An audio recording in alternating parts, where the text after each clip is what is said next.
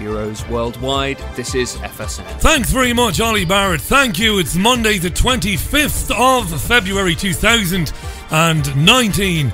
My name is Richie Allen. It's great to be back. How you doing? Hope you're well. It's a glorious day across the UK today. South Manchester basking in sunshine. What's going on? Welcome back to the most listened to independent radio show in Europe. It's your Richie Allen Show.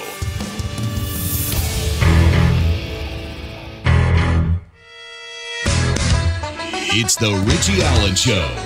Broadcasting live on richieallen.co.uk and multiple platforms around the world. And now, here's your host, Richie Allen. Yes, it's great to be back. How you doing? Thanks for for putting up with me. Thanks for the kind words and all of that, which I don't deserve. I'm back. I'm in a lot better health than I was in recent weeks, and I'm delighted to be back. Bored, witless I've been in the last few weeks. It is the Richie Allen Show. You can contact me right now on Twitter. It's at Richie Allen Show on Twitter. You know that by now. There's something you'd like to tell me today about one of the stories I'll be covering. Just do so through Twitter. I'm so glad to be with you. It's your Richie Allen Show live on Fab Radio 2 in Manchester, triggerwarning.tv, my own website, TuneIn Radio, and many other places as well. And it is Monday. It is gorgeous. It is glorious out there. It's amazingly beautiful today. It has been over the last uh, few days, as you'll know. And they're talking about records being broken in February. I'm sure there'll be one or two who'll put that down to, well, to climate change global warming, although they don't say global warming anymore, do they? It's got nothing to do with climate change, but it's nice and pleasant anyway. Like a spring day today. Maybe we've seen off this winter, which wasn't too bad apart from the snow we had. Well, I was properly sick with um, pneumonia. And it's not the first time in my life I had it. I had it when I was 15. And it saw me in Ardkeen Hospital, Waterford Regional Hospital, when I was 15 for about seven weeks nearly a whole summer. And um, the first eight to ten days was pretty terrible, to be honest. I don't know if you've ever had it or experienced it, but it's so bad in the early stages that you'd willingly expire. You'd be happy to close your eyes and not wake up. It is that bad. You know, you cry at the thought of coughing because of the pains in your back. It's like getting stabbed. It's horrendous anyway a wretched experience. And, you know, the best part of two and a half weeks before I was up and about and, you know, at least sitting up and watching a bit of telly and that. But um, I'm over it now. The unbelievable future Mrs. Allen at the same time had a very, very heavy flu and couldn't breathe either. It was a nightmare for her, feeling the way she was feeling and having to deal with me as well. But um, look, it's over and done with now. Um, I've had a rough time of it in the last six, seven months with a couple of things, but they're not related. I'm in great health. I'm fit. I'm strong. I've never smoked in my life. I'm careful about my fitness. I'm going to be fine. And I'm glad to be back. And I'm nobody important. I'm, I'm nobody at all, full stop. But to see the nice things the people were sending through the website and nice messages and stuff like that did make me very emotional, it has to be said. And if I think about it now, I might get a bit emotional. I don't want to do that. So thanks for caring and for listening and for missing the show. I missed it just as much as you did, believe me. I was very amused now, must be said, sick as I was. But as I was getting a bit better, I was very amused sitting up in bed watching the coverage of the Jihadi bride story. Shamima Begum. Brilliant stuff. And as I was watching bits of that, I, I was thinking about you, to be honest. I thought, well, anybody who's ever read my articles or listened to my boring monologues about how the news has replaced soap operas, afternoon, daytime soap operas in people's houses. Haven't I droned on about that for years? Please, Richie, you're not going to drone on about it now, are you? No, I'm not. But if you've read that stuff that I've done and if you've listened to any of those monologues, you'll know I thought you would have been laughing watching the hysterical coverage about this kid who was 15 who ran off with ISIS but now wants to come back. Right? Pure theatre, and the masses, like the unquestioning rabble they are, fell for it hook, line, and sinker. I think there was all, over a week where every single radio show, every single talk and phone in show were dealing with it. People screaming about Shamima.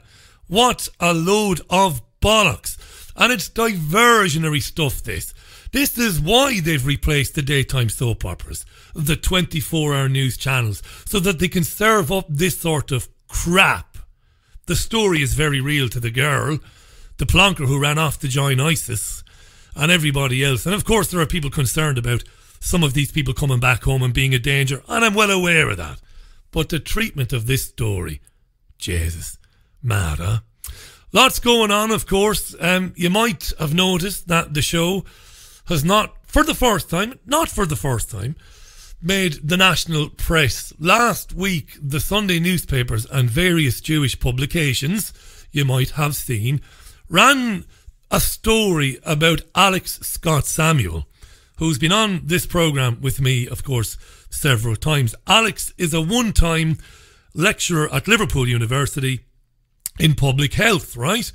And he was until recently the chair of the Liverpool Wavertree Parliamentary Party. Until recently. Okay, Alex Scott Samuel. And that seat in Liverpool Wavertree is held by Luciana Berger, who won that seat as a Labour politician. But you'll know that very recently Berger, along with eight or nine other Labour MPs, Chuka Umunna, and a few Tories left their party. So she's without a home, Luciana Berger, but she's sticking to, she's holding on to her seat. Anyway, look, she's Jewish, as you know as is Alex Scott Samuel, importantly. And Alex Scott Samuel is a member of Jewish Voice for Labour, long-time guest on this programme, and he tabled a couple of no confidence motions in Berger because of her attacks on Jeremy Corbyn.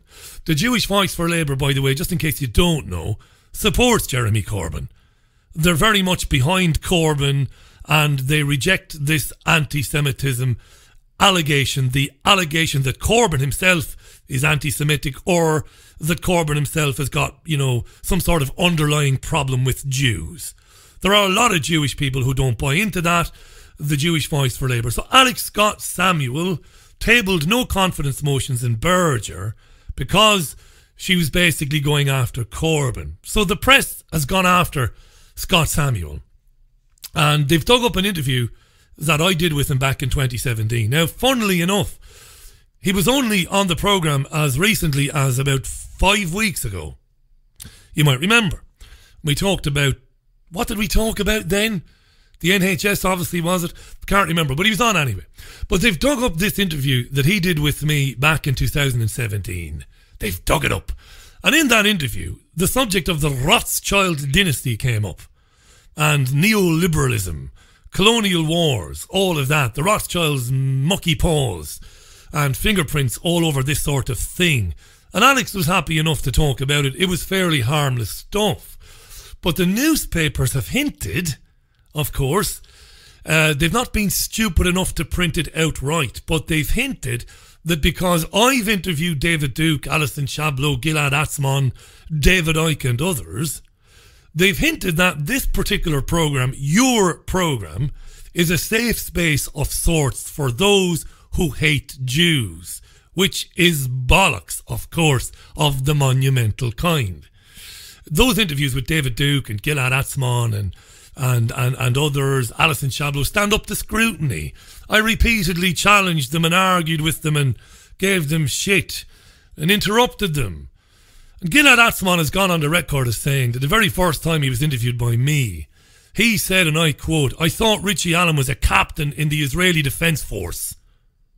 He said it was brilliant that Richie was in agreement with much of what I was saying, but because there was no other side, Richie hammered me, which I did, and I hammered David Duke. There's very little I agree with, by the way, in terms of David Duke. So why am I telling you this? So this is a kind of a McCarthyism thing. McCarthyism is the best analogy. Look up Senator Joe McCarthy if you don't know what I'm talking about. That's the best analogy. It's anti journalism. Forget about free speech for a minute. This is anti journalism.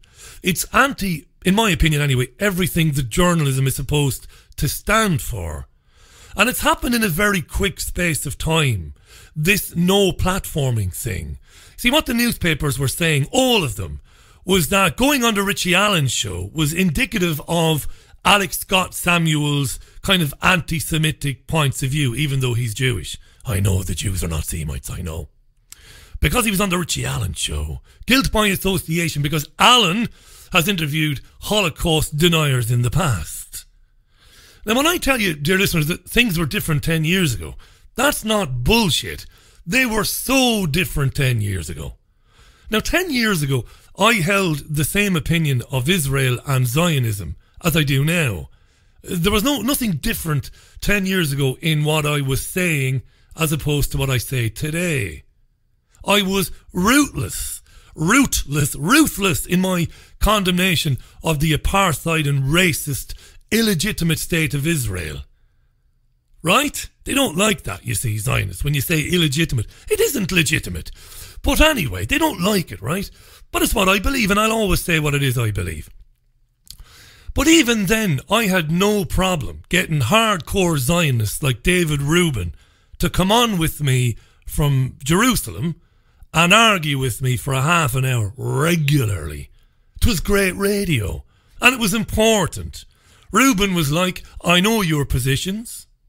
You're totally one sided. Allen, you only see one side of it. You're pro Palestinian, you're completely biased. But I'll come on your show anyway because fair enough, you'll give me a hearing. That's the way it used to be. Great radio. I interviewed Abraham Foxman. Did you ever hear of him? Anti Defamation League in New York. He was on my program in Spain several times.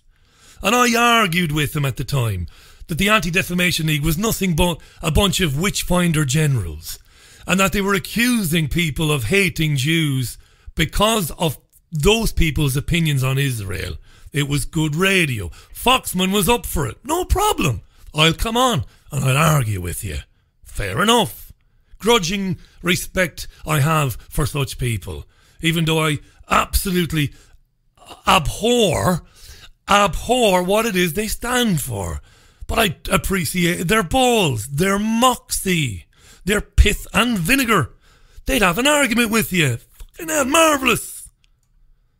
But the Witchfinder generals are taking over the media now. The tabloids are very clever they go just far enough, but they don't go too far. They didn't call me anti Semitic or a Holocaust denier. They wouldn't because they'd be sued by me. They really would be sued by me. But they hinted at my guests and at my previous association with David Icke. Now, why David Icke hasn't sued the tabloid newspapers is anybody's guess. You would have to ask him. It's something when I was um, when I was connected to him, it's something I asked him time and time again. With your money, why don't you sue them? You will win. It's an open and shut case. But he always said that he would never sue because it doesn't bother him what they say and all that. But I don't believe that. That's not to be critical of David, by the way, at all. I don't believe him when he says that because they've had him kicked out of venues in the UK, they've had him banned from Australia and they've repeated their libel time and time again. He isn't a Holocaust denier, yet he does nothing. I would. I would sue. And that's just the way it is. Right? Again, it's not that's not a personal attack on David. David's reasons or his stated reasons for not suing are probably genuine. I don't know. But they wouldn't have me banned from Australia for calling me a Holocaust denier without me uh, seeking, not only seeking legal advice, but instructing a solicitor to instruct a barrister. These organisations have hundreds and hundreds of millions of pounds. And they've also got libel insurance that covers them for, again, hundreds of millions of pounds. Right? It's an outrage. The Australian Home Office can take somebody's visa away. It's tyranny.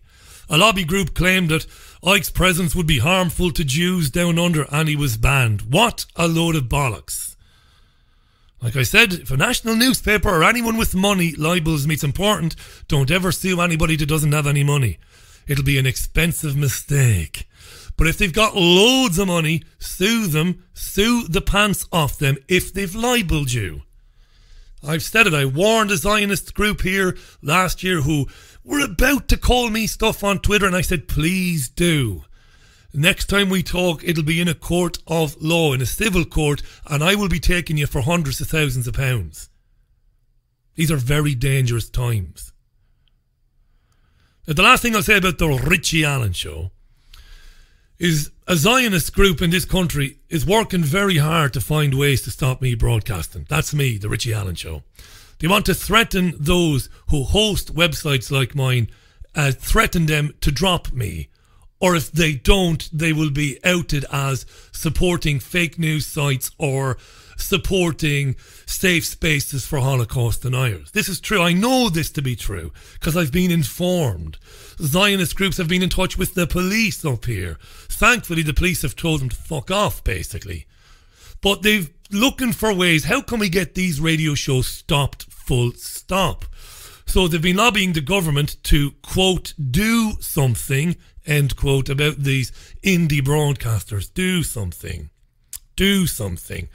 A writer for a well known Jewish paper was in touch with a friend of mine recently, told my friend I was a racist and all the rest of it. My friend asked him for an example. The guy couldn't give one. My mate pointed out that my accountant is Jewish and that I am well known to Jewish folks in the city. Doesn't matter. Doesn't matter. Never let the truth get in the way of a good lie.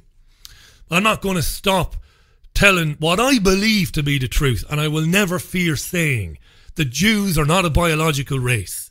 The diaspora is a myth. It's a story.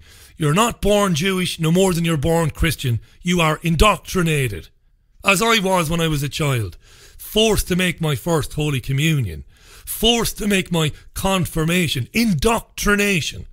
I didn't have a choice. You're a Christian son. How'd you like them apples? Well, I, I don't know really. Of course, when you get to 13, 14, you stop going and then you shed yourself of that label of that indoctrination. Israel is an evil, racist, apartheid state run by Nazi thugs. Don't ever fear saying that. It's the truth. Why? Because the term Nazi entered our lexicon in the 1940s, 50s, 60s, and they used the term Nazi to describe anybody who was fascistic, anybody who locked people up because they didn't like what they were saying if the cap fits, wear it. Don't call Israelis Nazis just to wind them up. Don't be childish. Call it to them when it's appropriate. Benjamin Netanyahu is a Nazi thug. He is a crazy fucking psychopath who has corralled Palestinians into the biggest open air prison in the world and instructs his soldiers whenever they're bored to take pot shots at them. That's Nazi behaviour. Don't be scared of it. Don't be apologising for your opinion. This is what the Zionist lobby wants. They want people like you and like me to begin every sentence. Well, look, I'm not anti Semitic now, but don't do that. Don't apologise for what you know to be true. Don't ever do that. Don't apologise for asking questions about the percentage of the population and how Zionist Jews are overrepresented in public life, in journalism, the media, and in film. Not just here, but in the US, and Zionists have bragged about it. Don't be scared of asking questions like that. It's not bigoted to ask that question. They make up less than 1% of the population. How are they so? Oh, and by they, I don't mean Jews, I mean Zionist Jews. Those who are members of the Labour Friends of Israel and this Friends of Israel and that Friends of Israel, they've bragged about it. Gilad Atzmon calls it Jewish power. Never be scared of talking about it. Never. And this is what the racist Zionists are terrified of. They're terrified of any discussion of why Jews are afforded such special treatment. Why you can't speak about them or question them or criticise them and their ideology without being called racist which is a misnomer, by the way. Jews are not a race. Why, is a group of people, are they so exempted from criticism? No other identity group in the world enjoys anything like this level of protection. This is true. Right? Don't be scared of asking questions about that. It's not racist. By asking questions like that, you're not making an assumption that every Jew supports the state of Israel. I don't know any Jews who support Israel. This is true. And trade unionist friends of mine tell me that whenever there is a, a march organised by the Socialist Workers' Party, yeah, don't get me started on the Socialist Workers' Party, but anyway, whenever there's a march in Piccadilly in Manchester to to try and raise awareness about the plight of Palestine, it is full the protest and the meeting of local Jews. Of course it is. The majority of Jews don't support the murder and wrongful imprisonment of the Palestinians, but the media doesn't want you to know that either. Right. And the leader of the Labour Party, Jeremy Corbyn, has a yellow streak a mile wide on his back because he won't stand up to it. He won't say the very strong things I've just said. They're very strong, but they're very fair. He won't say those things. He won't stand up to it. And his best pal, John McDonnell, the Shadow Chancellor, has turned on him now as well. Have a listen to the deputy leader of the Labour Party, Tom Watson. Now, Watson was on the Andrew Marr show yesterday morning. You might have heard it. He's Labour's deputy leader. And Andrew Marr asked Watson, Does Jeremy Corbyn need to change, does he? Of course, Jeremy needs to understand that if we're going to be in number 10, he needs to change the Labour Party. And there are things we need to do. I mean, firstly, we've got to eradicate anti Semitism anti Jewish racism in all its forms. I mean, this week I've had 50 complaints of anti Semitism from my parliamentary colleagues uh, that I've shared with Jeremy. And for us to address that now, I think he needs to take a personal lead on examining those cases and, if necessary, recommending to our NEC what has to be done. You see, I think he would say, the reports that Lord Falconer, who's a very senior figure in the Labour Party, a former Attorney General, um, has been put in charge of dealing with anti-Semitism in the party. Jeremy Corbyn has said again and again and again that he's hostile to anti-Semitism, and lots of uh, cases have been heard by the Labour Party and disciplinary letters have been sent. I'm wondering what more he can really be expected to do. Well, he, he has said that it's not done in his name, but the problem is the test for us, the test for him as a leader, is to eradicate anti-Semitism, and it's not other Labour Party members that will be the judge of that. It's the British Jewish community. And I think he understands now that if he is ever to be Prime Minister, he needs to rebuild that trust. And the way you do that, yes, Charlie Falconer is a very important appointment that we get an independent scrutiny over that. But the way he will now have to do that is to review those cases and go to the NEC where he is in control. They will back him if he says these people need to be thrown out. And that's the only solution now because we, we so time is against he, us. He has to do it all himself and look well, at these cases himself. I, I, I mean, I you've think, got cases, I think. I, think the situation is so grave now that he understands he needs to make a personal intervention. You know, we, we appointed a new General Secretary who made it her priority to deal with it. I mean, very patently, um, the Jenny Formby reforms have not been adequate. They have not succeeded, and therefore it requires a, another sort of push to try and make sure that, as John McDonnell says, one case of anti Semitism in our Labour Party is unacceptable and we need a zero tolerance approach to that. But there's no such thing as anti Semitism and it doesn't exist, and none of these presenters are challenging uh, Tom Watson or anybody else to provide an example. Give us one of these examples. Tell us what was said that was so heinous that it needs to be rooted out of the party. It's just a nonsense. And of course, lefties or left social democrats, let's not call them socialists because Corbyn is no socialist. Left social democrats believe that this is the establishment trying to destroy Jeremy Corbyn because Jeremy is such a threat to the establishment. There's nothing more laughable than that as an idea. Jeremy Corbyn is no threat to the establishment. He is the establishment. He's sitting in Parliament because he swore an oath of allegiance to the Queen of England and all of her heirs. You know, you know, this is the man who railed and campaigned against the tyrannical European Union from the back benches. Nothing's going to change.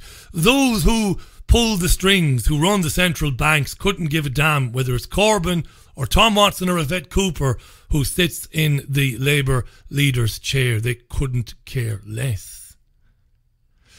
Patricia tweets, Good evening, Patricia. Would it be wrong, Richie, to suggest that since the majority of media is Zionist controlled. The truth about what is happening in Gaza will never be made known to the masses.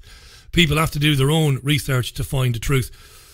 Yes, Patricia, you're right. Now, back in 2015, or 2014, I should say, to, to be totally accurate, during the disgustingly um, named Operation Protective Edge when Israel was dropping bombs and killing hundreds and hundreds of children in Gaza. There was a little bit more criticism from the mainstream media than I'd seen previously in previous incursions into Gaza. But yeah, these days you don't get anything. You get a little bit of commentary on Russia today. Not a lot though. You get a bit on Press TV, but that was banned. You've got to go and look for Press TV. But by and large, the media is not going to talk about what's happening in Gaza. It's as simple as that. And the media, for those of us old enough to remember the difference between the media coverage of South Africa when Mandela was still in prison and the coverage of Gaza. You know, it's chalk and cheese, it's night and it's day. Let me tell you about free speech, uh, dear listener. When I was sick, you might remember this. When I was sick, uh, there, there was a story running about the government, the UK government, compelling social media companies to delete sites and channels and pages that have been deemed to be pushing fake news. I can't overstate how horrifying that is. They're going to appoint somebody or something, a body or a committee, to declare what is true and what is fake. And it won't just be social media that will be deleting pages and banning people. It won't just be YouTube. It won't just be Twitter and Facebook. Like I said earlier, they'll go after the website hosting companies and compel them not to carry sites that have been blacklisted. Mad times. I'll give you a right laugh, though. I'll give you a right laugh. When I was getting back on my feet a week ago, I got a I got an email from YouTube. See, I didn't see any emails for two and a half weeks, and they said we've deleted a show that you did a few weeks ago. And I went, well, which one was it? I looked at it, and it was the one with Gerodo Colmon and Jim Fetzer. They told me that I'd breached their guidelines on bullying, harassment, and blah, blah, blah, blah, blah, blah, blah.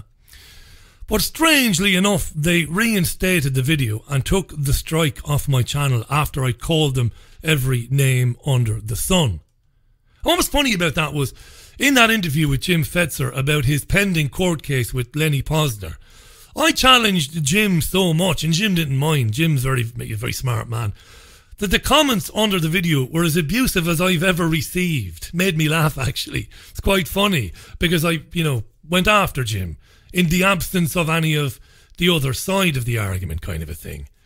But anyway, they put the video back on and said the strike has been taken away. So I don't know what's going on. Maybe they're messing with our heads. It's half five, by the way. This is the Richie Allen Show. Welcome back to it. I'm Richie Allen. 25th of February 2019. I've no idea how long this is going to last today. It's really tomorrow, Wednesday, tomorrow that I'm back with a proper show with interviews. Today, news roundup, just easing my way back into it. So it could last till five, uh, six, or it could last till half six. It probably will go to half six, I think. I don't know. So I'm just kind of, you know, letting you know where we are. 29 minutes to six it is now. Bit of Brexit then? Anyone? Anyone a bit of Brexit? Bit of Brexit? The UK Prime Minister says that she remains focused on leaving the European Union on the 29th of March, which is a little over a month away. I remain focused on leaving the European Union. Now, this is despite the fact that she is being bombarded from every side by people who want a delay. Delay Brexit. Temporarily suspend Article, Article 50 there keep us in for a while. We need a bit more time. This is what's happening. The Yvette Cooper amendment, even Tories, a hundred Tories apparently, want a, a Brexit delay, apparently, if you believe that. Anyway, May said she felt a real determination from EU leaders in recent days to find a smooth and orderly path to a deal. The Dutch Prime Minister Mark Rutte warned her that the UK was sleepwalking into a no deal scenario and that we all needed to wake up. Fuck off, Mark Rutte. Anyway, May admitted there was much more to do. It's all been kicking off today. They're in Egypt, aren't they? Sharm el Sheikh. They're at the EU League of Arab States Summit. They're all there. Merkel, Donald Tusk. Now, Donald Tusk is the European Council president. He's delighted and he's pretty sure that Article 50 will be delayed, meaning we ain't going anywhere. This is Donald Tusk. I can say, first of all, that Prime Minister May and I discussed yesterday a lot of issues, uh, including the legal and procedural context of a potential extension. It's, for me, it's absolutely clear that if there is no majority in the House of Commons to approve a deal, we will face an alternative, a chaotic Brexit or extension. I believe that in the situation we are in, an extension would be a rational uh, solution. But Prime Minister May uh, still believes that uh, that she's able to avoid this scenario. Yeah. What was Theresa May's response to that? Here she is. What we're working for is to deliver uh, what Parliament asked us to do, which was to address the issue that they have a concern about in relation to the backstop. Uh, we're doing that. We're working with the European Union on that, with the Commission. We've had constructive meetings over the last week. Uh, my team will be back in Brussels tomorrow, continuing those discussions. As I say, I believe it is within our grasp to leave with a deal on the 29th of March. And I think that's where all our energies should be focused. Uh, any delay is a delay. It doesn't address the issue. It doesn't resolve the issue. I think there is as I say, the opportunity to leave with a deal on the 29th of March, and that's what we're going to be working on. Mm. But Labour and Tory Europhiles, you see, are going to get their way and destroy May by taking no deal out of her hands. And the Yvette Cooper amendment this week, meek, meek, the Yvette Cooper amendment this week will see the country move closer to officially delaying Brexit by temporarily, yeah, right, uh, delaying the exit date for a few months. This is going to happen this week. Now, on the no deal thing, Bernard Jenkins is a Tory MP. He's a big Eurosceptic. He's a, he's a supporter of the group Leave Means Leave. And he was on Sky News this morning with Adam Boulton, and he had a rather testy exchange with Adam Bunter Boulton. We'll have a brief chat about it after we have a listen. Do you want to hear it? Bernard Jenkins is asked by Adam Boulton what about delaying Brexit? I think it would be uh, disastrous. Yeah. Uh, if we had a delay, yeah. um, I think the faith in our politics would, what what faith is left well, of it, would evaporate. Absolutely. So, so, so all so I'm saying all, is, in that case, why not come on board with Mrs May? Well, um, you're quite right to run through all the dilemmas that uh, we're all facing at this particular moment. But what we shouldn't yeah, it's do, not just a parliamentary game; it's the future of the country that's at stake. It here. is, yes, yes. I, I, I, take that very seriously. But what we shouldn't do now is take no deal off the table, which is what a whole lot of people who want to stop Brexit are going to try and do this week. And I come back to the point you are prepared to say to your constituents in 32 days, we leave with no deal. I'm prepared to, if, if the deal remains completely unacceptable, uh, that may be the only option, but the alternative would be the whole of the United Kingdom mm. effectively to accept defeat. And you would defeat. prefer that option uh, to what is currently the agreement between the UK government and the European Union. You um, would prefer. and no the reason is exit. yes, and the reason is at the moment you can leave the European Union on two years' notice. You can we can walk out of NATO. Norway can break their Norway agreement with the EU at one year's notice. Yeah. Uh, we can leave the UN we are being asked to sign up yeah. to something where there is no legal Instead, exit. Do you think any of those things and are a good idea? Um, uh, I think we leaving the UN, leaving NATO. No, of course. What a what a shithead Adam Boulton is. What a disgusting shithead. A third of a man, not a third of a man, not thirty three percent of a man. A third of a man, an arsehole of a man. He wasn't suggesting that we should leave NATO, Bernard Jenkins. He was making the point that if we want to leave NATO, we'll just be able to do it. Walk out. But with the deal that May has, we'll be trapped in the backstop forever and ever, and we wouldn't be able to get out of it. As it stands, the UK would be trapped in a ludicrous backstop and by by definition then stuck in a customs union with the European Union. We wouldn't be leaving. That's why Bernard Jenkins voted against Theresa May's deal, because it ain't leaving. Adam Boulton is just a disgusting shithead. It's crap journalism that. Anyway, the interview got a little bit testier here. Have a listen here. That You're is the principle. to plunge Britain into a no-deal Brexit in 32 days' plunge time. is your word. Plunge is the scare story word. Well, it's, it's, a, uh, it's, it's a big it, development, uh, and, and, it, it's a it's a big change. But the British people voted to leave; they didn't vote. So you're prepared for that, whether whether you think it's going to be if it is necessary. If it is necessary, then we must do it. And indeed, the advantages would be the uncertainty would be over very much more quickly. Well, it'd be uh, the uncertainty of hitting yourself on the head with a brick, perhaps. Well, uh, the uncertainty, no, that's your scare stories. uh, it's, uh, you know, this will be far less damaging than, for example, being in the ERM or if we join the euro. Look what's happened to some countries who were in the euro. Um, that's not going to Well, happen the to euro's us. going up it's not going to be like the moment, it's not going to be like the banking crisis, where the whole Okay.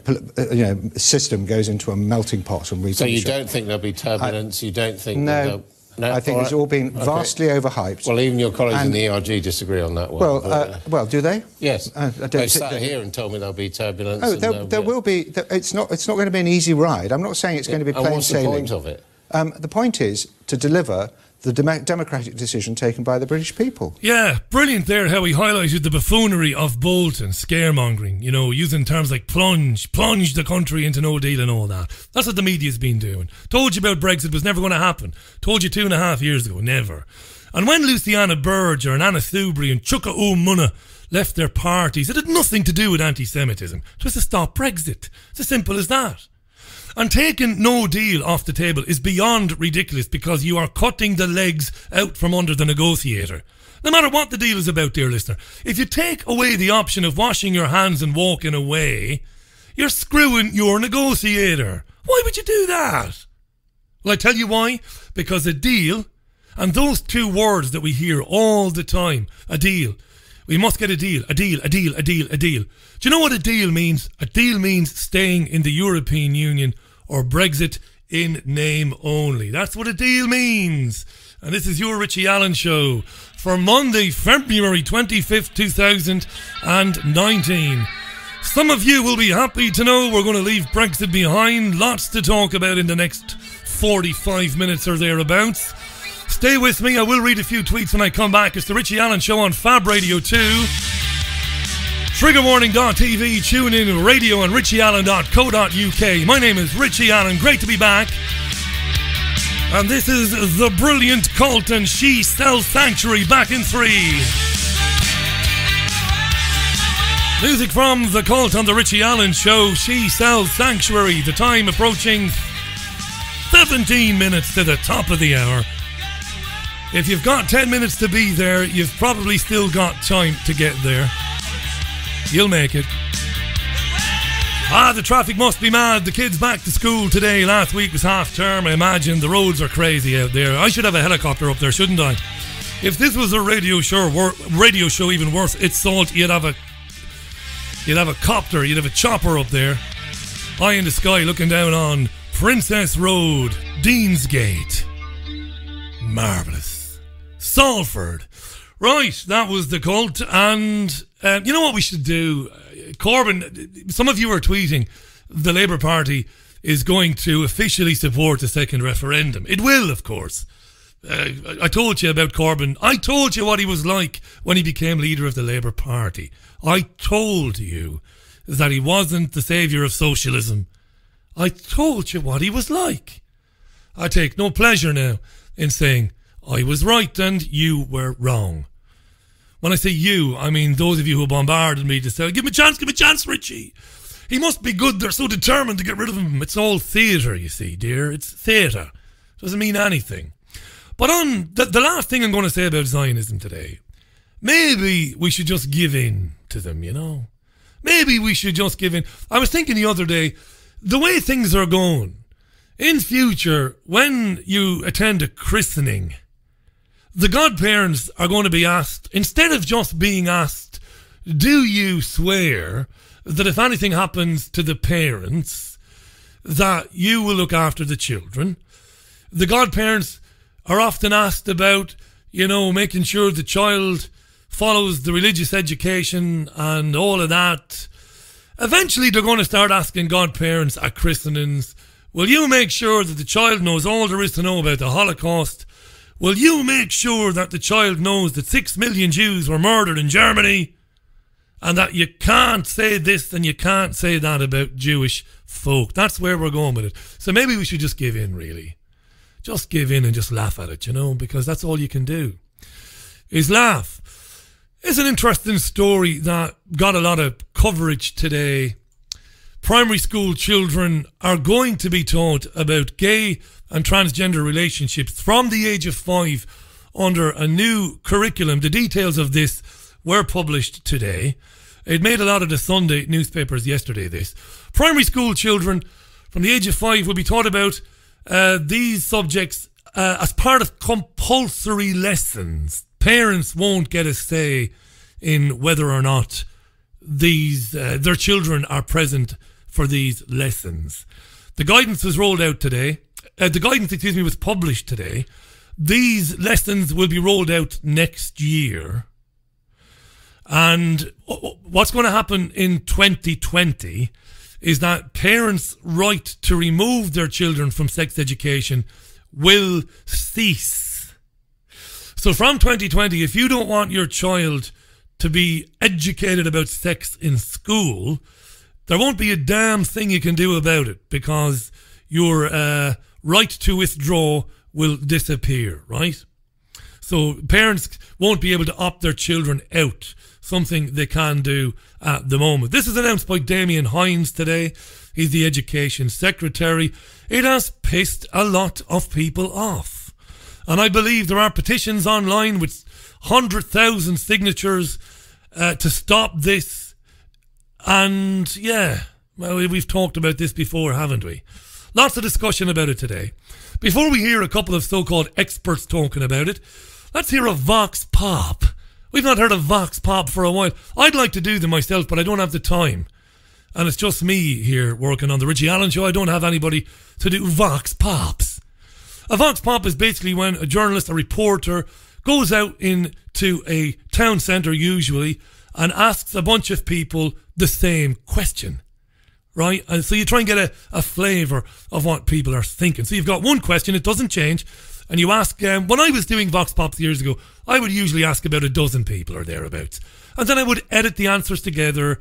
No selective editing. I would just do it the way it came to me. I would make tidy it up, make it nice and sharp, and put it out. So the BBC did a Vox Pop. They sent people, or they sent a reporter into Salford, the city of Salford, to ask people, do you agree or disagree with five year olds being taught about sex and about same sex relationships and gender identity and stuff like that. This is what the people of Salford told the BBC. I think being a parent myself, it's a little bit too young, as you know, they're still children and really innocent at that age, and I don't think that they really would understand anyway to be told that. I think it's maybe a good thing for the future, but at like four, it's a little bit too young. I think it depends, really. It's better that they're learning from a younger age so they know what to expect when they're growing up, so they don't outcast other people. So I, I think it's a good idea, me. I think the younger, the better.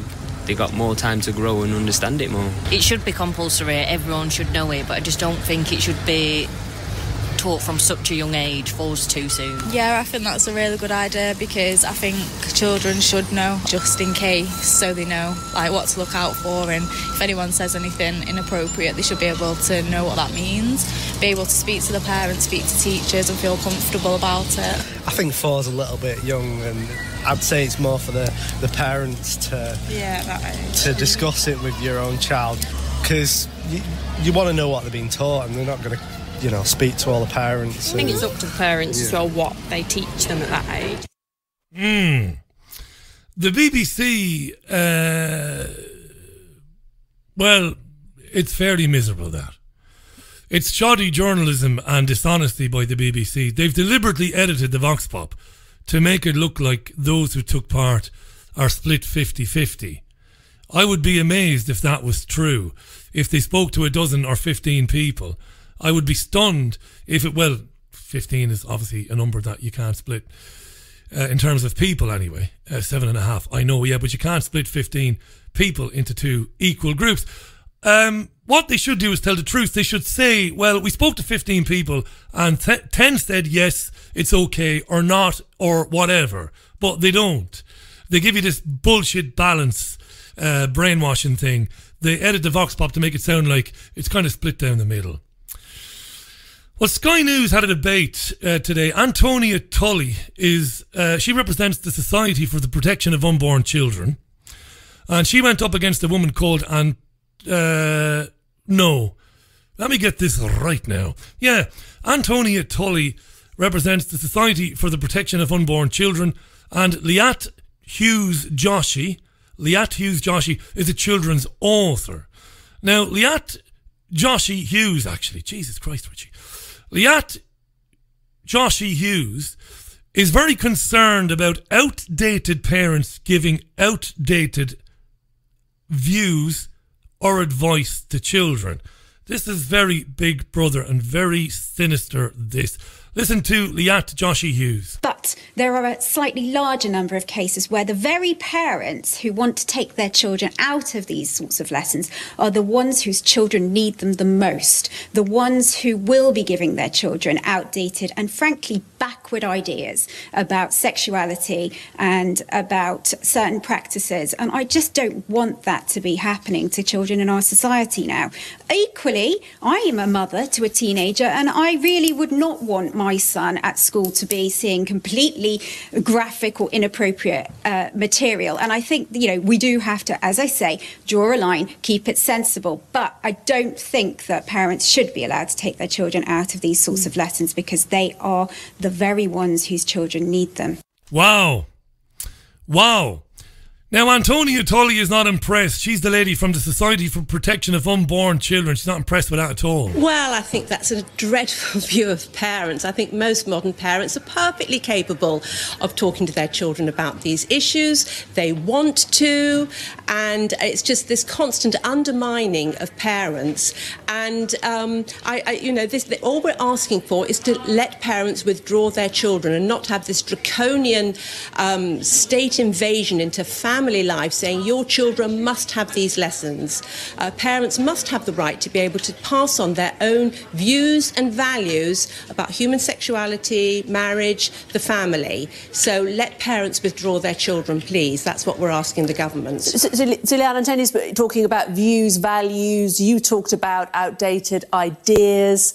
I mean, this this is about how people regard sexuality, isn't it? And it's about sexuality's place in society. These are different, these are things that people do have different views upon and about. Uh, it isn't necessarily just teaching biology.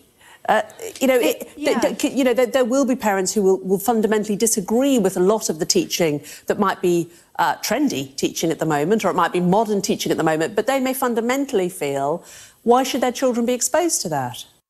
Very, very good Sky News woman. Great question from the presenter. First of all, Antonia Tully was very eloquent. It is draconian. It is dangerous to be saying things like, you know, uh, outdated views are being taught by parents. We can't have that. So we've got to take the children out of that situation in terms of we should get the schools to do it to counter these outdated views that the parents have. Antonia Tully was very good, but it was a great question the presenter asked the progressive children's author. Why should parents agree to their kids being exposed to some something they are fundamentally opposed to just because it's trendy now? What did Liat Joshi Hughes say? I accept that in some situations, some teachers, frankly, are taking things too far with the subject matter. And one of the things that I would say about the guidelines that have come out today is that I would actually like to see them be more prescriptive, not leaving it down to individual teachers uh, to decide. But not, i just want to go back to Antonia's point, suggesting that I think parents as a whole are not capable of having these discussions. I'm not saying that the majority of parents aren't capable of having these discussions. And actually, parents play a really, really important role in, in sex and relationships education, undoubtedly. But what I am saying is there is a small group in our society who continue to teach children uh, ideas that are completely backward and inappropriate. And I think schools genuinely do have a role, and the curriculum has a role to play in countering that. Antonia, your response? Sorry, I know you did lose your earpiece during that. But thank you for battling onwards. Um, well, who's deciding who these parents are yeah. who are backward? Um, and, you know, we, we've got this measure that's going to affect every single school in the country.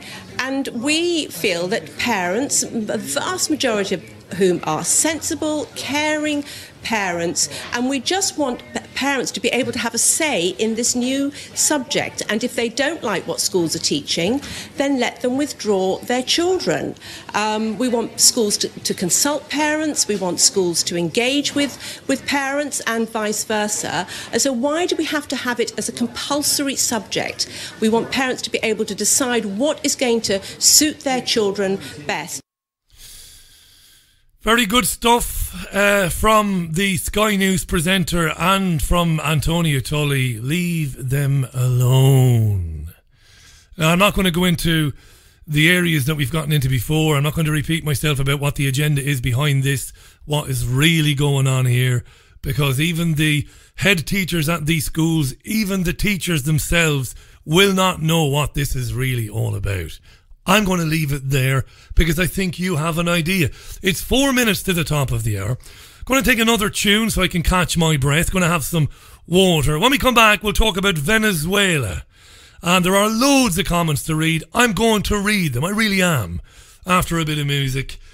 I saw the Queen biopic a few weeks ago, didn't I? Uh, Bohemian Rhapsody. With um, this guy Malek who won Best Actor last night at the Oscars for his portrayal of Freddie Mercury. A lot of Queen fans are cheesed off because a lot of there's a, a lot of artistic license in the film. You know, in terms of things not happening in sequence, things not happening at all, and all the rest of it. The general consensus seems to be that the guy who plays Freddie Mercury, Malek, why can't I think of his name? It must be. I'm still kind of half, um, you know, drugged up with the drugs I was on when I was sick. Maybe that's it. I can't think of his name, but anyway, he won Best Actor. The film is the film is not bad. We enjoyed the, the film, Carolyn and myself, when we watched it. So I'm going to play some Queen. I'm going to have a bit of a breather. When we come back, I'll read some comments. Maybe we'll uh, maybe we'll hear the headlines.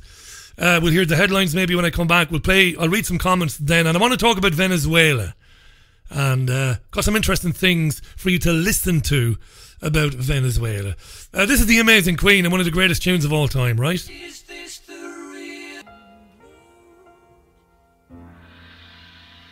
Yeah, if a radio presenter interrupts it in any way from start to finish, they should be fired. Queen, Bohemian Rhapsody on the Richie Allen Show, three minutes past six. Before we read some of the tweets, um, I suppose we can pop over to FSN, have a little listen to the headlines. Has anything changed? Has anything changed at all since we last heard from Ollie Barrett in London? Uh, let's find out. This is FSN 30 second headlines. From Feature Story News in London, I'm Ollie Barrett. US envoy Zalmay Khalilzad met one of the co founders of the Taliban as a new round of peace talks begin in Qatar. President Donald Trump's announced the US will delay imposing more tariffs on Chinese goods. UK Prime Minister Theresa May says there's been good progress in Brexit talks with EU leaders in Egypt. And the 91st Academy Awards in Hollywood saw the most prestigious prize Best Picture going to an unexpected winner, Green Book. Thanks very much, Ollie.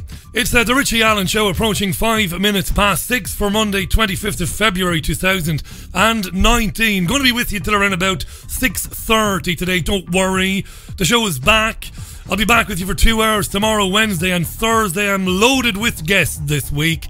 It is your Richie Allen show. There is none like it. Thanks for choosing it. Going to be reading some of your comments now in a second, and then we'll have a little chat about Venezuela, you and I.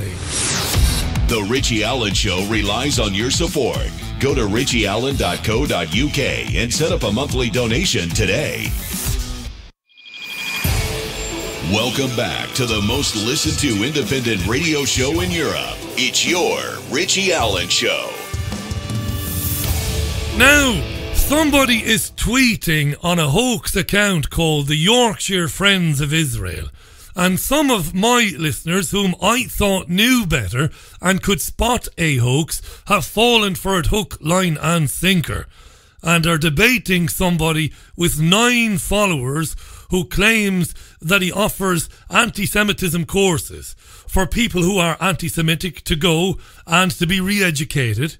At which point they will be given a certificate to say they are no longer anti Semitic. And some of my listeners actually believe this bullshit. Don't be so naive, there are troll accounts everywhere.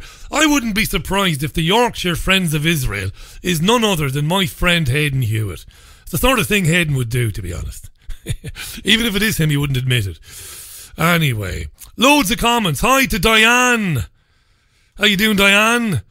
in Waterford. Well, she's not far from Waterford, Diane. Diane says that she wouldn't have a child in school. End of story. This is something I've said a few times myself. If we were blessed with children, we would undertake the schooling of our children for the very reasons outlined in the last segment of the programme. Hi to Martin in Spain. How you doing, Martin? Uh, in this together. Hi to Susan. Uh, hi to Mark. How you doing, Mark? That's Mark Ant, by the way. Spirit Samba there. Uh, to Delroy. How you doing, Delroy? Richie, I don't know how America gets away with it in Venezuela. It's so criminal. It is, Delroy, but of course the reporting on it in the newspapers in this country and elsewhere, well, the reporting on it is all very similar. And I'm going to talk a little bit about that in a minute without repeating myself, without boring you. We'll talk about what's going on. Abby Martin, the journalist, um, some of you will have heard of her, used to do uh, a bit for RT in the past. Has done a very good um, bit of reporting on Venezuela to give her, her her due, to give her her credit. And I'll talk about that. She interviewed somebody very interesting, and I'll bring you a little bit of that in a minute. Um, loads of comments on various issues there. Uh, Rich tweets, Richie, have you clocked this 900 quid course being offered? Yeah, this is this is people falling for this bullshitter claiming to be the Yorkshire Friends of Israel. There is no Yorkshire Friends of Israel. I don't mind it. Nonsense. There's the Northwest Friends of Israel, all right. Zionist group in the in the Northwest, bunch of morons. David Stanford tweets, Richie, if Freddie Mercury was heterosexual, are we in any doubt that an Oscar would not have been bestowed? I don't know, David, that might be a bit harsh. I thought the kid was very good in the film. Although I did read an article in the Sunday Telegraph that said, not in the Sunday Telegraph, in the Telegraph today, that said that the guy's performance of Mercury was rubbish. I, I don't go along with that. I, I thought he was, um, I thought he was good. Hi to Patrick Vidian. Yeah, Diane was saying I would take my child out of school altogether. Main STEAM education is pretty dire. Anyway, I wonder how much more difficult it's going to become in the near future to homeschool. Is that going to become more difficult to do than it has been previously? My old friend Aaron Callan, I told you about Aaron, mentioned Aaron a few times, good lad, and his wife Vicky, lovely woman, went to visit him in Bury uh, and saw them educating their young children. And the children were very bright and very smart, and they were reading various books, and they were doing art projects, and they were asking questions of their parents. And I thought, brilliant stuff. Very impressed with Aaron. I came away very moved that day, having watched it in action. You know, because I'd never seen it before. I'd never been in a house where the child was homeschooled. A part of you thinks you'll go in there and there'll be nappies piled up in the corner. there'll be absolute mayhem.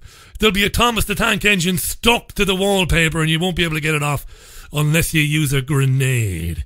That's the sort of thing you think. And then I went in there and the children were brilliant. I mean, smart children, you know, asking me questions and stuff. Like they're like five and six years old, the kids.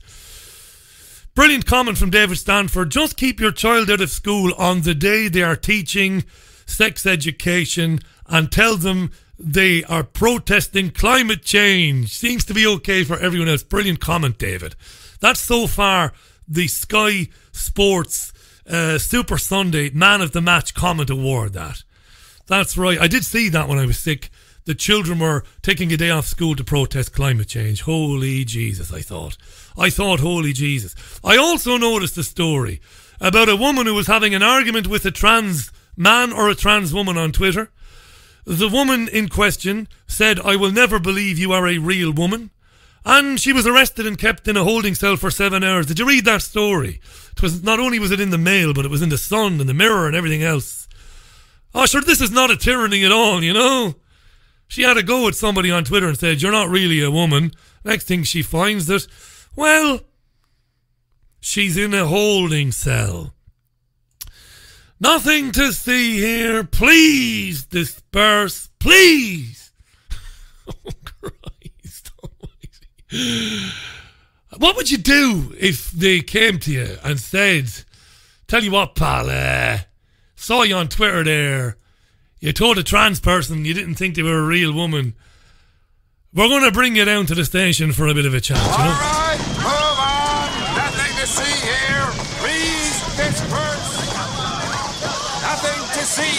Please! Nothing to see here. Where was the outcry in Parliament about that?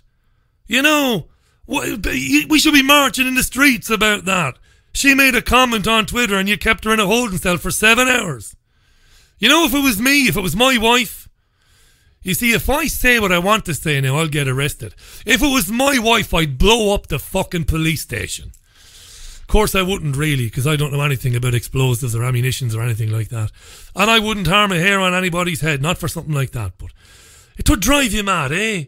Seven hours in jail because you said to somebody you're not really a man, you know, or you're not really a woman, you know. What kind of fuckery is this?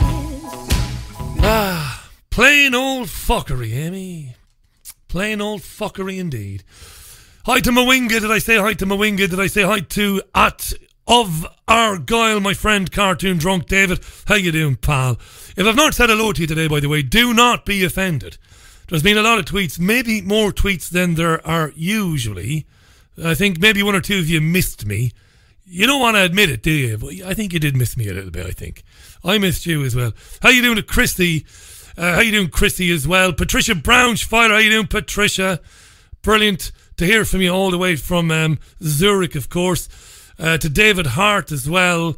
Uh, those of you who fell for this Yorkshire Friends of Israel tweeter, go to the stupid corner stand there for about three minutes until um, we tell you you can come back to your seat. Blonkers. Right, let's talk a little bit about Venezuela then. This Monday. Why not? Venezuela. Venezuela. Now, the media. That's the mainstream media. What's the media saying about Venezuela 24 7? Well, they're saying that Nicolas Maduro is a brutal dictator and that he's starving his people to death. What a bastard, eh? Imagine. He stole the election. Widespread fraud. He locked up the opposition.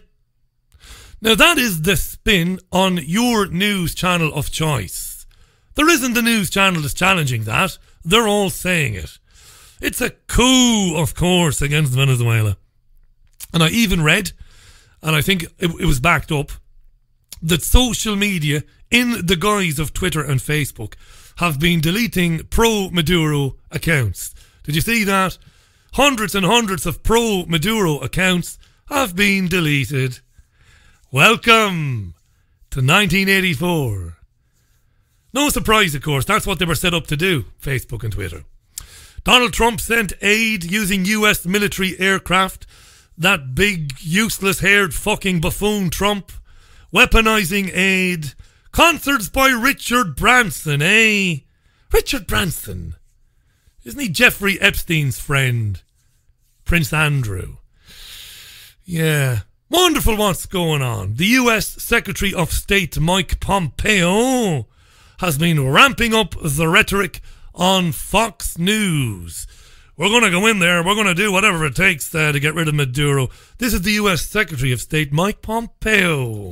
In a statement at the end of yesterday, you He's being asked the question. You will first hear the presenter, then you'll hear Pompeo. Said the United States will take action. What does that mean? We've already taken action. Action to support the Venezuelan people, and we'll continue to do that. Uh, they have a duly elected interim president, Mr. Guaido. We're going to continue to support him.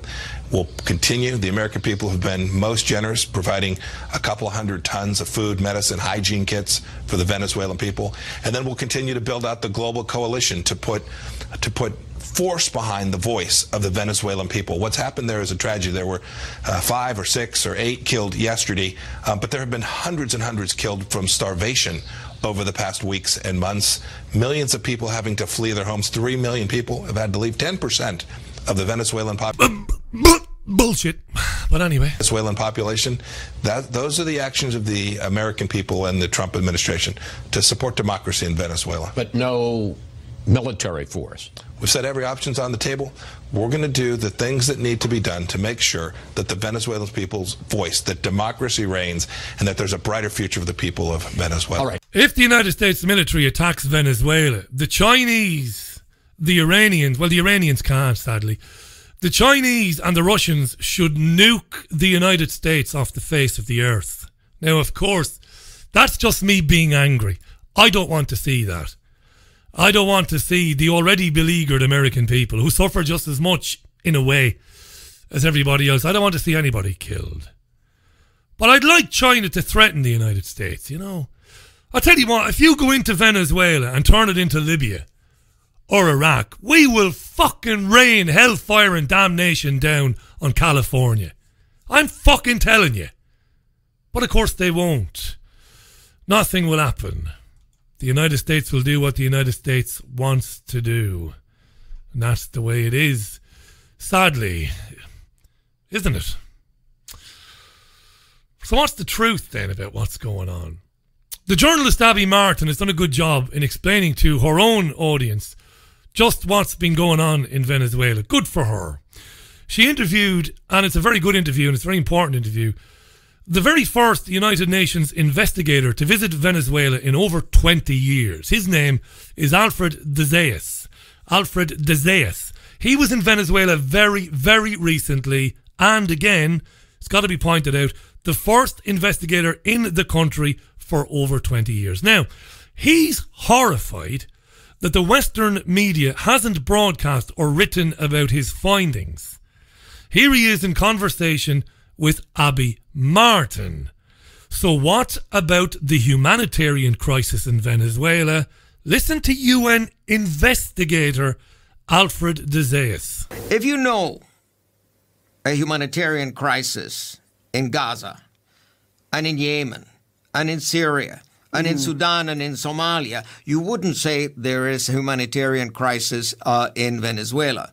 And at no point when I was walking the streets in Venezuela did I feel uh, threatened or did I see violence or did I uh, consider that this country was undergoing a humanitarian crisis.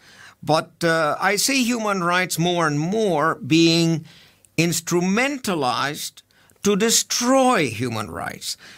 There is a weaponization of human rights.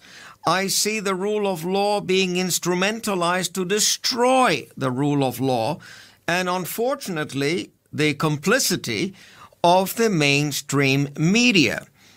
What I'm saying to you, I think it would have been sensible to say it to the BBC. It would have been sensible to say it to the New York Times and to the Washington Post and to the Economist and to the Financial Times. But uh, at no time since I returned from Venezuela and since my report was officially presented to the Human Rights Council, have I been approached by any of these uh, organs who actually have a responsibility vis-a-vis you and vis-a-vis me and vis-a-vis the people of the United States to inform. But they buried his report. Okay, and Abby Martin dug this guy out and put him on on her program, which is a brilliant thing to do. The media buried his report. his report says, "Well, no, things are not like that at all in Venezuela. It's all right, really. Of course, there's problems, but things are okay largely, and the problems haven't been created by Maduro." So, what happened to Venezuela then?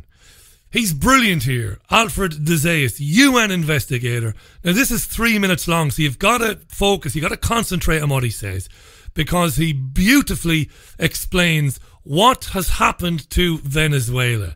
Three minutes long. It'll be the best three minutes you spend today. Listen to this from the mouth of the United Nations itself, Alfred de Zayas. What I told uh, the uh, Human Rights Council uh, is that the financial blockade has had uh, extremely adverse human rights impacts. Obviously, the origin of the current economic crisis is in the fall, the dramatic fall in the price of oil. But uh, normally, you would be able to fix that. Uh, a country as wealthy as Venezuela should have been able uh, to borrow money uh, on its enormous natural resources and uh, then would have been able to buy and sell like anybody else. But no, uh, the United States has made sure that uh, because of the threat of enormous penalties to the U.S. Treasury, uh, the banks have been closing the accounts of uh, the Venezuelan government and of the uh, Petróleos of Venezuela. Already in July uh, 2017, uh, Citibank unexpectedly decided, without prior notice and arbitrarily, to close the bank accounts of the Central Bank of Venezuela and the Bank of Venezuela in November 2017. Uh, again, uh, Citibank blocked the uh, transfer uh, for a shipment of more than 300,000 doses uh, of insulin. In November 2017, the company Euroclear retained $1.65 billion that the Venezuelan government had paid for the purpose uh, for the purchase of food and medicine. Uh, Citgo, the uh, uh, Venezuelan state oil company based in the U.S., has not been able to transfer its profits outside the United States of America. It needs that money to buy food and medicine. And it is in the neighborhood, I think, by now of nine or uh, 10 billion uh, dollars that have been withheld.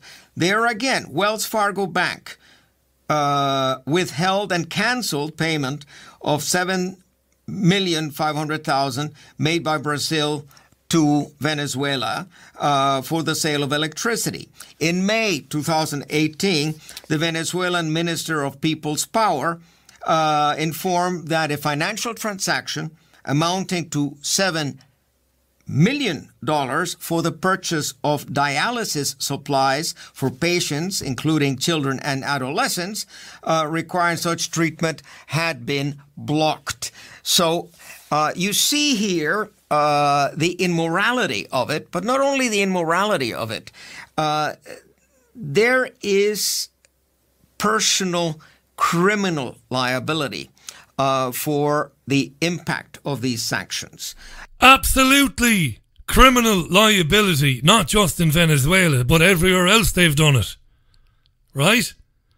That's an absolutely amazing soundbite there from a United Nations investigator telling the truth about what has been done to the sovereign state of Venezuela through sanctions to destroy the country, to blame it on the elected, democratically elected leader of the same. And he sums it up nicely here in less than a minute. You've heard three minutes. Hear this little summing up. Alfred uh, UN investigator, the first one to visit Venezuela in over 20 years, brought to you courtesy of Abby Martin. And this is his summing up here of what's happened. And this is powerful stuff, this. What the United States intended to do was to create a situation whereby the people or the military uh, would topple the government, and then uh, the 1% uh, could again come in and could again control the wealth uh, of Venezuela. Venezuela had succeeded in uh, bringing uh, millions and millions of Venezuelans out of extreme poverty. Nobody cared in the 1980s and 90s that there were millions of Venezuelans dying of hunger and malnutrition. No one cared. It's, it, it was a government that was palatable to Washington and a government that was a right wing government. The moment that a left wing government came in power, uh, priority number one in Washington was to topple it. Priority number one was to topple it. Ah, and that's the truth about Venezuela and what's happening there now. The time is approaching 25 minutes past the hour. And that's about all I've got time for today, dear friends. Thanks so much for uh, listening today, for being there, for tweeting. Massive amount of tweets there. If I didn't give you a mention, it was for no other reason than there's been so many tweets. Hi to Paul Paranoid. How you doing, Paul? I'm scrolling right down now to the ones that came in very early. Hi to William Henderson. How you doing, William? Uh, as well. Uh, anybody that I didn't say hello to today, do not think it's a slight. It is not. Just uh, as I said, so many came in. Hi to Tiger as well. How you doing, Tiger? Uh, a lot of you still giggling away about this Yorkshire Friends of Israel. Yeah, Faisal is a very smart guy. I, I know this because I read his tweets and I, I've heard him contribute to the phone-ins. He just got caught. He, he jumped in with two. I've done it myself. I've done it myself so many times. I, I certainly can't laugh or throw stones at that particular glass house. But uh, yeah, it's a hoax account. No doubt about that. 26 minutes then past the hour. Thanks for listening to it. I really appreciate it. Uh, I'll be back with you tomorrow. I will have guests with me. Uh, 5 p.m. as usual. Tomorrow, Wednesday and Thursday. Sunday View live every Sunday morning at 11 as usual. Your Richie Allen show is back, and I can't tell you how happy I am that it is because I really missed you. I really did. Now, you enjoy the rest of your Monday. We're all going mad with the sunshine. We're all going mad, I tells you. Gonna close out with Steve Earle. I love you. Thanks for listening. I'm Richie Allen. Speak tomorrow at 5. Until then, look after yourselves and one another. Bye now.